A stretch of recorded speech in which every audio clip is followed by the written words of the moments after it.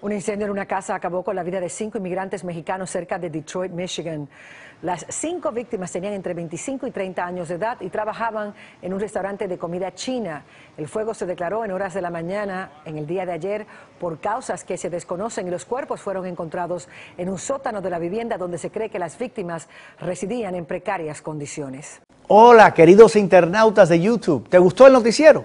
Suscríbete a nuestro canal, así podrás seguirnos viendo haz clic en este botón de suscribir y no tendrás que ver videos de mala calidad en otros canales nunca más. También puedes entrar a telemundo.com y ver nuestros reportajes. ¿Qué esperas? Suscríbete.